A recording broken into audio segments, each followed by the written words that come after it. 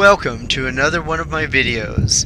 Today's video is a little bit of a hike, uh, then we're going to see a glimpse of a fire rescue helicopter, and then we're going to hit the top of the hill and see the LA-88 Nike base. Operational August 26, 1956, one of the last of the 16 to be completed. Above that middle hill, you can see that tiny dot. That is the fire rescue helicopter landing up there. But don't worry, we're going to get a lot closer view on that one when we get up there. I hope you have become a subscriber, and if you have, thank you for showing support of my channel. okay, after that long drive from the 118 freeway, we are now approaching the entrance. Don't forget to support the park by paying the $5 parking. Grab one of these envelopes, fill out the information, tear off the upper piece, put that in your windshield, and you're set. After I finish filling out this information, throughout the video, I'm going to tell you about some of the history of this LA88 Nike base. The hike to the top can be very long, so I'm going to fast track this. You're going to see just clip after clip until we get up to our destination. And in case you were wondering, I'm leaving the original sound on and doing a voiceover. Alright, I'm hearing some chopper. Looks like it's coming up and around the mountainside. There it is. if you look real close, on the right side, somebody is hanging out of the chopper. You can see their legs just dangling there. My guess is that they landed on the asphalt up at the top and probably did some safety maneuvers and doing some rescue practice. I think he's waving. Let's wave back. Well, it looks like the individual got themselves back inside the uh, chopper. Guess that was just part of the training, huh?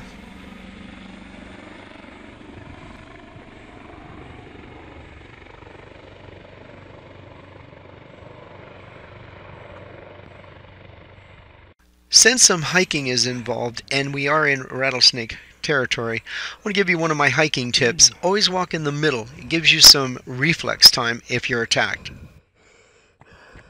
I can hear the chopper coming back around. It'll give me a chance to catch my breath here. When you last saw it, it was heading north. Uh, there it is. Uh, they're going south. My guess is towards Santa Monica.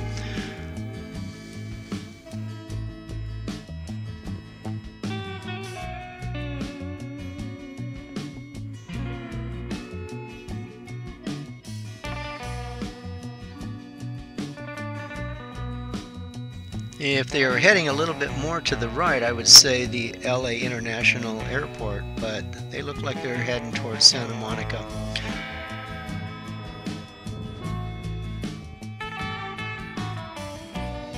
Almost out of breath, and coming around this corner, we look up to our right at the top of the hill and see part of the Nike base.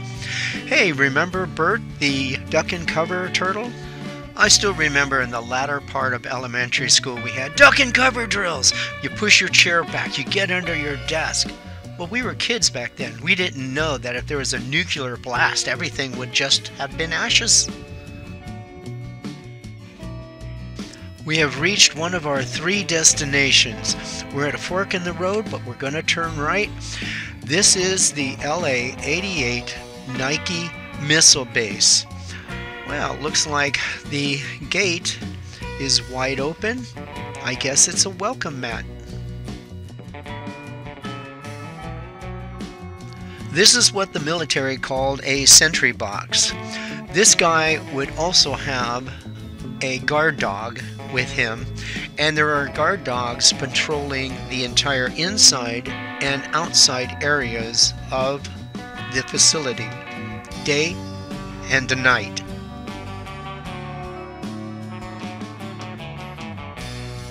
Here's a little bit more on the duck and cover.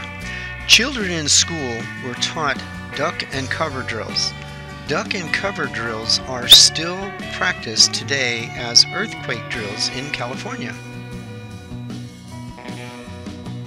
For 18 years, the local base was bustling with over 100 military personnel whose motto was if it flies, it dies.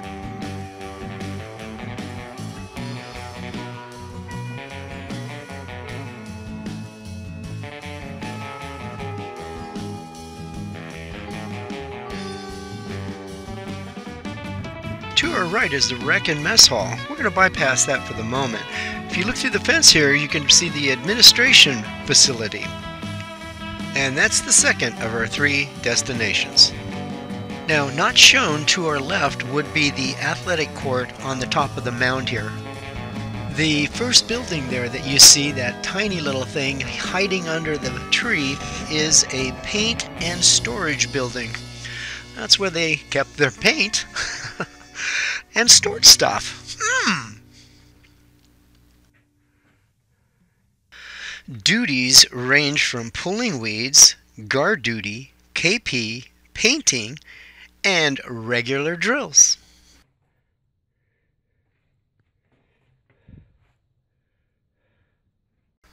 What we have here is a shot up, burnt up bus that obviously was left behind by the LAPD. There would be no military use for a RTD bus, Rapid Transit District, back then. I guess I'm with a loss of words. I'm trying to figure out why the LAPD would need to shoot up a bus. Is this some sort of training to save the people in the bus? I don't get it. Anyway, I'm sure that the bus being burnt out has nothing to do with the police. I'm sure that's just some kids up there that did that. And don't forget that um, us taxpayers bought those buses, so there it sits, rusting away.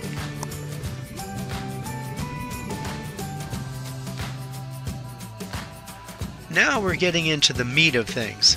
This is the missile assembly and test building. Uh, on the left side there is a small storage unit where I would imagine they kept a lot of the parts that they need. As we leave the exciting world of storage and warehousing, we're going to move over to the assembly and test building. Now, I wonder what process they use to test the missiles. Growing up in the 50s and 60s with the threat of nuclear attack, you would have been familiar with the civil defense test sirens sounding off once a month on Friday at 10 a.m. If it had been a real warning, you would have found the closest fallout. Well, it looks like somebody out there is into BDM. And that doesn't mean business development management.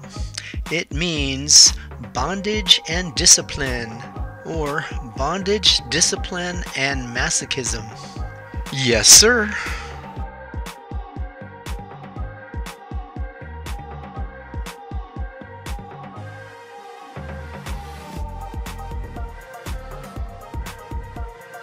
I've worked in warehousing nearly my entire life, but it doesn't take a genius to realize there's an office there and we're coming around to probably the tool issue and sign out area for this room.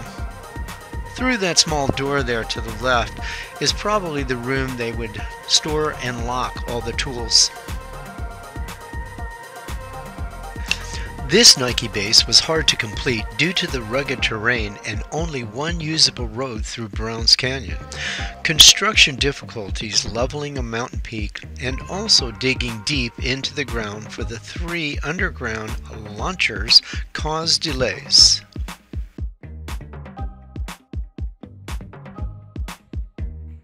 Straight ahead and to the bottom I see a white face there, and for some reason it looks like a skeletal William Shakespeare. And I wish I got a better shot of it. I don't know how I missed it while I was there. Uh. During a period of government budget cutbacks, and after the Nike Hercules was included in a U.S. Soviet Union arms reduction, nearly all Nike sites in the country were shut down by 1974. The site was then acquired by the City of Los Angeles and leased to California Conservation Corps until 1990 in exchange for maintenance of the property. The Corps ceased in operation in 1990 due to lack of funding, and the property was abandoned because of earthquakes and fire damage. In 1990, the City Council voted to transfer the missile site property from the City Department of General Services to LAPD for bomb squad and SWAT training. And here's something that sounds like some backroom dealings. General Services continue to have jurisdiction over the property while LAPD has responsibility and control of the missile site, according to the city documents. what does that mean? Uh, one has jurisdiction while the other one has control. I don't get it. Uh, somebody would need to explain that to me. I mean, doesn't jurisdiction and control mean basically the same thing?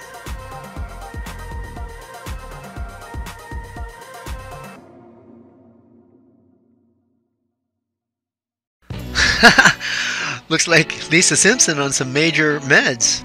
Hey, don't abuse. Here's something else that boggles the mind. Los Angeles County Sheriff's Department spokesman, I won't give the name, said that while deputies do occasionally patrol in the area, the department is also not responsible for the site. Alright, we're going to follow this sidewalk. We're going to go straight across and go around that bend. We're coming around to what they call the warehouse building. What I find fascinating is some videos I've seen on YouTube. This car that's been sitting there probably hasn't been there more than three years. The reason why I say that is I've seen some YouTubes up and the car isn't there. Now, I don't know if the YouTubes were only posted three years ago or recorded longer than that, but the car wasn't in any of them.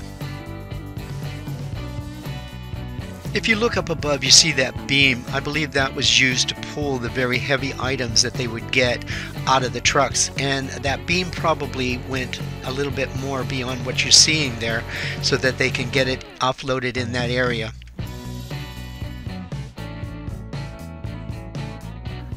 The launch area held three underground missile magazines each serving a group of four missiles for a total of 12 missiles.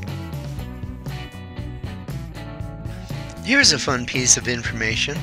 A movie called The Big Picture, filmed at DeSoto Church, released April 6, 1959, talks about the site. Okay, we're going back the way we came, and as we go up this sidewalk, we're going to turn left. When we turn left, we're actually going east. We're going to be heading towards what they called the Ready Building. There it is.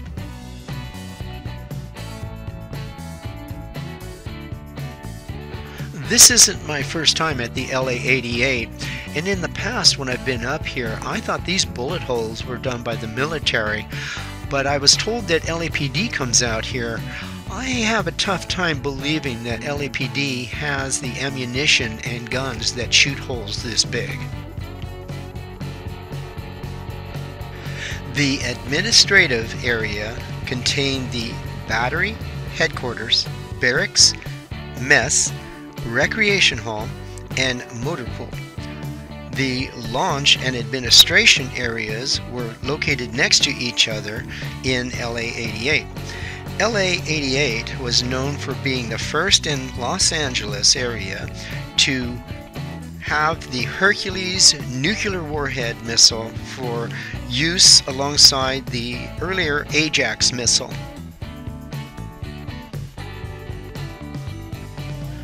Going down this hallway to the left is a restroom. For those curious, the toilet was in the back left and the sink was on the right near the middle. As we leave that tiny room, now this room here on the left, I definitely know that's a locker and shower room. And what's interesting about this is this seems to be the only shower in this whole general area. There are showers in the recreation room, which is near the entrance, and there are showers in the administration building, which is clear across the other way. I find it very hard to believe that these guys had one shower to share among them.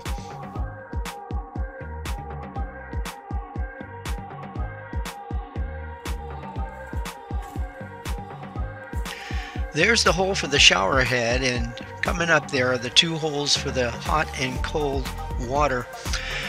With this being the only shower in the place, you want to share a shower? LA 88 was the first in Los Angeles area to employ K9 sentry guard dogs to patrol.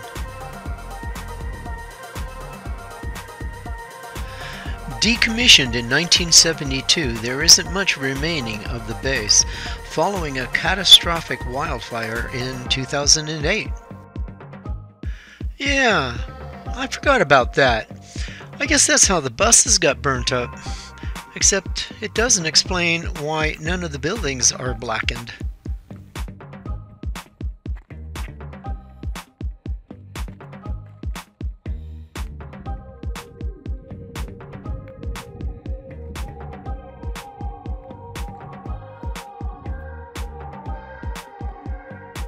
We're still heading east and looking at this building, we're looking south. Now, they call this the Gen building, G E N. I don't think that meant like Admiral General. I would imagine it's just general items that they do.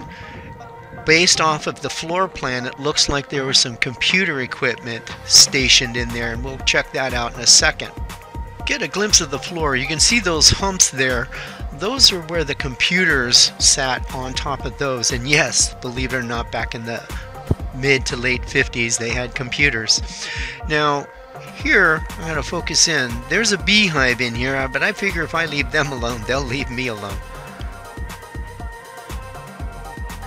There are three parts to the LA-88. It doesn't really specify, but part one is about six acres. That's probably the administration area we haven't seen yet. Part 2 around 40 acres, and I'm pretty sure that's this area and the launch site. Okay, this little building is what they call the operator's shelter. I don't understand why it's a shelter, but that's what they call it.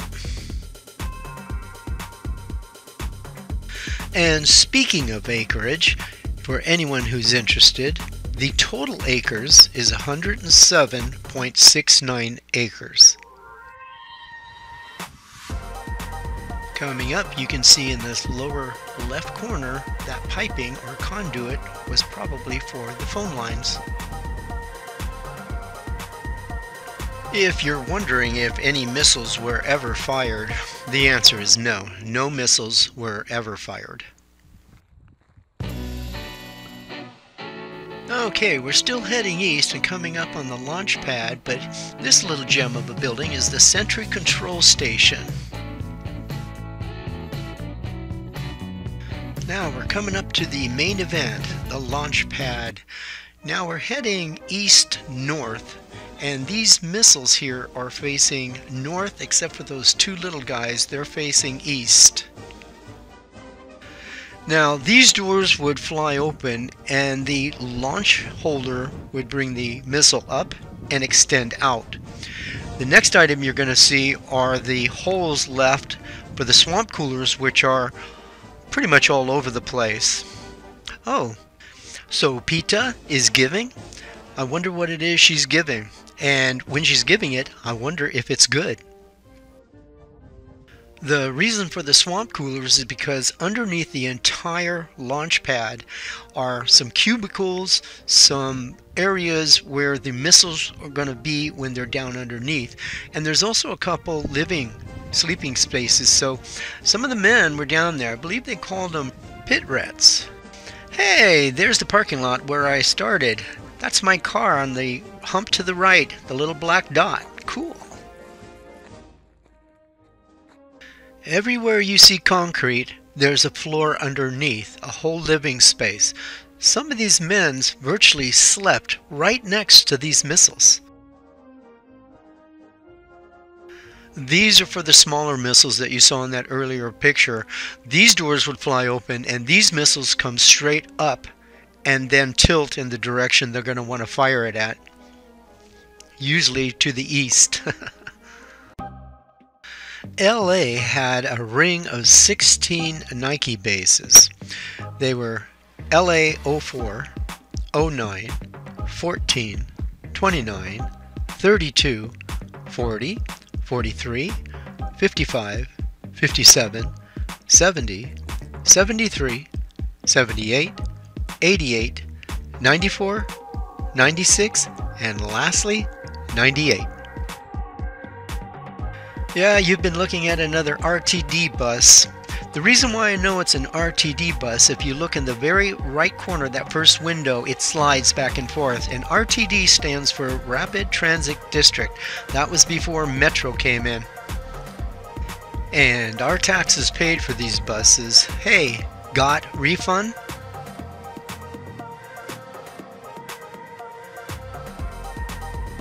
For much needed excitement, I'm to walk away from this bus. Okay, I'm to climb these stairs, get up to the top where I can turn around, face south, and show you the full platform. And when you see the pictures of the missiles, now they face north. That's the direction I am standing in. And where the missiles come out, they've dubbed them with the name of Underground Missile Storage. We're going to turn around. We're going to be heading west and passing all the items that we have already seen. We're going to go see what's at the entrance, which is the mess hall and the recreation room. Then the last stop on the way out will be the athletic court. Let's go check out this building. I don't have the best flashlight, but we'll get to see some of it. As I try to juggle a camera and a flashlight, here at this entrance is the mess room. Now, you're going to see the flashlight hit a door across the room. There it is. That is the rec room. And I know I didn't bring the greatest of flashlights, but hey, this is all I've got. Standing in the mess hall, those three doors there, the first one on the left is the bathroom, the next is the supply room, the next is the kitchen and dishwasher, and I'm only guessing. We're going to pan around the room here. Now this is the mess hall, and we're looking at some of the walls here. This mess hall doesn't really look all that big, but if I remember right, they only had a little over a hundred men here at one time. We're in the mess hall facing west looking into the doorway of the recreation room. My guess this room is 35 by 70. Back in the day, what would have been the most popular thing would have been ping pong. I'm sure they had checkers and chess because this room isn't that big for too many things. I really wish I could have brought a better flashlight, but I don't own one.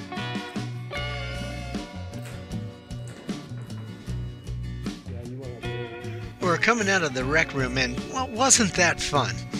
There was a sink to the left and those three doors. Now, those three doors, the first one is the bathroom, the next is the supply, and the next is the kitchen and dishwasher area. And yes, I am just guessing based off of the floor plan.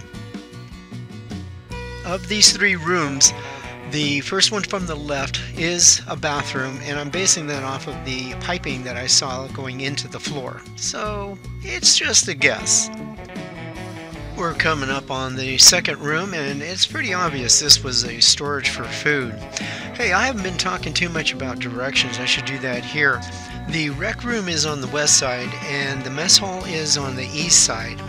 These three rooms are facing north because this is the only building that still has a rooftop and you can't see it from above ground. Hopefully that'll help you when you look at the diagrams. This third room off of the mess hall, I believe this to be the kitchen and dishwashing area. I'm going to pretend that I know because those ducts there, I bet are the exhaust fans and they go out that wall. Coming up around to the right here would be the dishwashing area is my best guess. Okay, I think we spent more than enough time at the mass Hall. And as we come upon this street, to the left would be the Sentry, which would be the entrance or the exit, depending on how you look at it. We're crossing over the street and going up the mound, and we're going to go up to the top and find the athletic There's a lot of property to check out. We haven't even seen the administration side yet. That's coming up. This is the athletic court, and it's pretty worn out, as you can see. Uh, it was a basketball deck and I saw the two structures for the hoops on either side. You saw a glimpse of the concrete foundation and whatever it was, it took 12 bolts to hold it in place, so it must have been something pretty heavy. And as we head to the front gate, we're going to head over to item 2 of 3. As we come out of the front gate, we're going to go straight ahead and that leads us into the administrative area.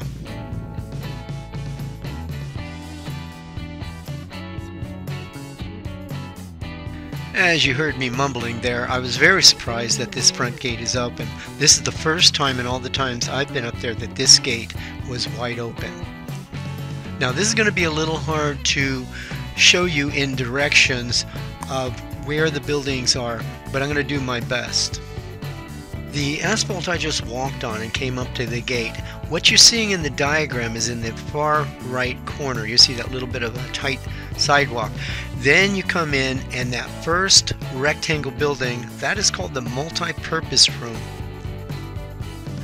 Up ahead is that building. Now we're basically facing southwest. Here's where it gets a little tricky. Believe it or not, I'm coming in at the lower left corner. We are facing south and southwest. Now, that very first building, as you come in, that is again the multi-purpose room. Once again, that's the lower left corner building. Hopefully you have your bearings. Now the width of the building is north-south and the length is west. Okay, we're crossing over the multi-purpose room. We're going south. We're heading up here to the mess hall. We're going to look here to the left. The entire dark area is the kitchen. I'm going to take a couple guesses here that that white concrete area could have been where the sink was and the red spot in the very back was the walk-in freezer. We're heading out to the back of that building and that's where the shipping and receiving for the goods would have come from we will turn around to face west and the concrete area that you're seeing would be the actual mess hall. We're going to turn left here going south heading out of the mess hall and across the way there that's the first barracks area. Let's head up the way there to that corner. That's one of the entrances and this barracks is on the left side and there's another barracks that would be a little bit more to the right there.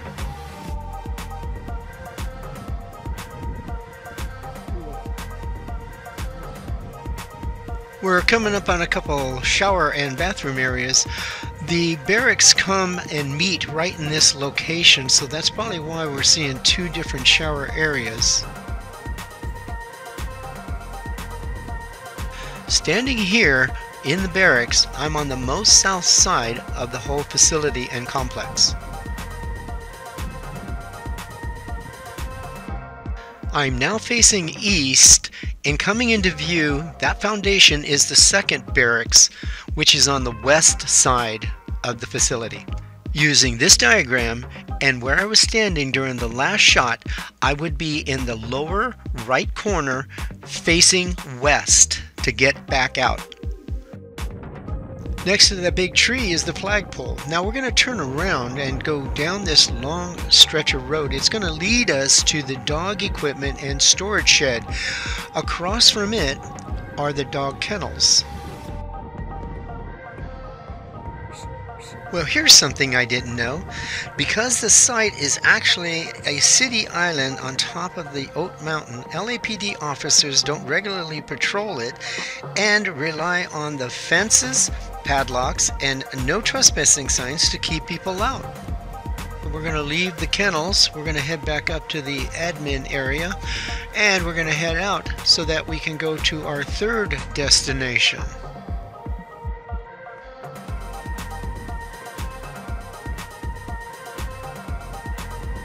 We're coming out of the administration. Now, if we went straight, we'd be going back into the launch pad. If we turn right, down the hill. But we're turning left so I can show you the third feature I wanted to show you. And to do that, I've spliced these cuts in real short order so that it speeds things up. Let me try to name off some of the cities these sites are. Palmdale, El Monte, Brea, Stanton, Long Beach Airport, Fort MacArthur, Point Vincent, Redondo, LAX, Malibu, Oat Mountain, Newhall, Lake Balboa. Remember that helicopter earlier? This is where it landed. Now, this is for LAPD when they patrol this end of the valley and go around to the west end and then go back to the city of LA. Currently facing southwest and came up going east, this is the whole south side of the San Fernando Valley. That's everything scanning from as far east as you can see, and we're moving towards the west. And at some point, some of the mountains cover Simi Valley. Those mountains in the background, that's Mulholland basically.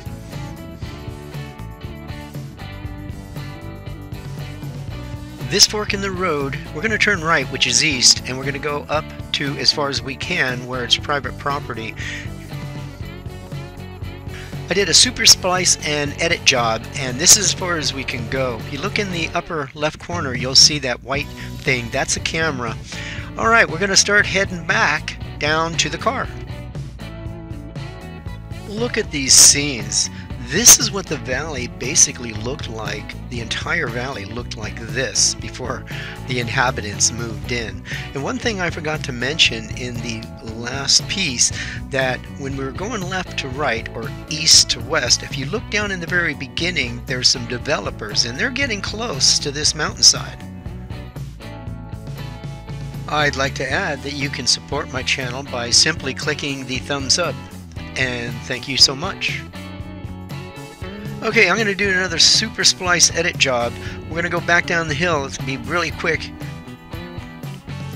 What do you think? I know this video was a bit long, but the complex is big. I would love to read your comments down below. If you have oh, any ideas car, of videos man. I should do, tell me about them in the comment section below. I hope you enjoyed this video. If you did, give it a thumbs up I hope you will subscribe by clicking the subscribe button. Click on the bell to receive notice of future videos, and I'll see you in the next one.